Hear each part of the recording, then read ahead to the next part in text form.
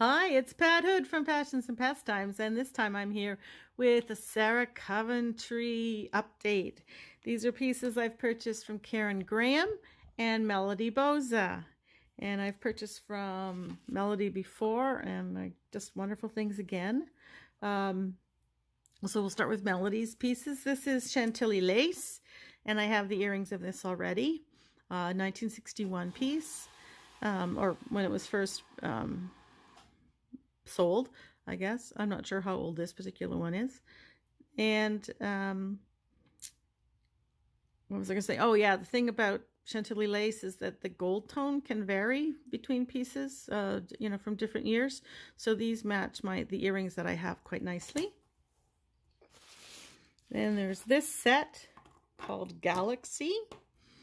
And uh, just love the uh, um, the colorful, these colorful plastic stones, the variety of them means, uh, you know, every set of Galaxy is different. Uh, this might be a replacement pearl or just maybe that that's really dirty in there. I haven't quite figured that out, but it's definitely got a darker surround than the others. And there's some coloration over here too. So I think maybe there's it's to do with some of the glue or something that got spilled and stuck on there. So I'll be trying to make a do a judicious clean. And then here are the earrings. And uh, let's see, Galaxy is a 1962 issue. And again, um, I don't know the exact year for this set. And then we have uh, this amazing set of Monte Carlo. And it's so wonderful to get a full set. So we've got the clip earrings, we've got the bracelet, and we have the necklace. And this is such a beautiful set. Um, and uh, there we are. So on there, that's a little easier to see the whole thing and um, Monte Carlos from 1961 again. So a lot of 60s pieces here.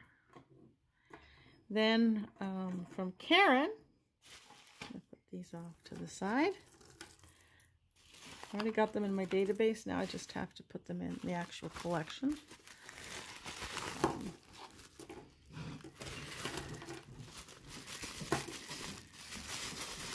so this is a piece I am thrilled to get.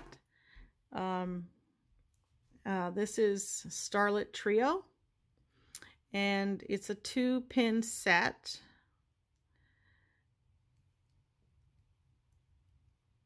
Sorry, I just have to, there we go. So this pin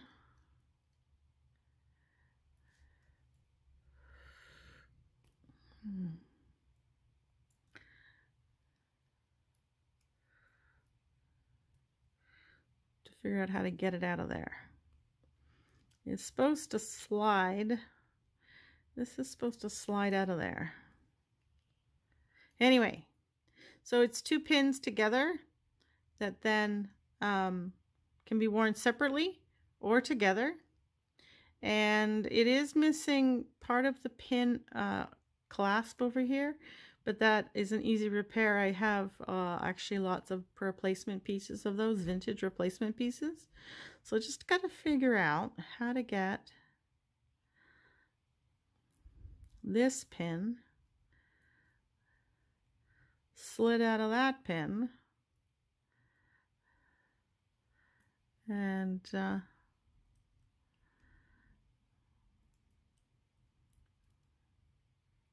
Oh well, I'll do that off camera. Anyway, a gorgeous piece and one I've been uh, had on my wish list for quite a while. And that's 1962. And then there's this lovely set. I always like getting things in sets. So, here's the um, clip-on earrings. And here's the brooch, the pin. And this is called Sunflower. It's from 1966. Here's another little set. And this is, um, see, quite a bit of difference in terms of, you know, pin size. Um, this is called Petite. So, you know, small earrings, small brooch, and it's from 1966 as well. So you put the two 66s together and you see quite a difference. So it's nice to see something called petite. Uh, I'm sure that there were people who were very happy to see something of a smaller size. And then finally, this um, is the start of uh, a new set for me. This is These are the debutante earrings from 1962 and I look forward to trying to find the other pieces to go with it. So, just a few pieces, but um, a really nice uh, grouping of items and great additions to my Sarah Coventry collection. Thanks for joining me. Hope to see you soon. Bye for now.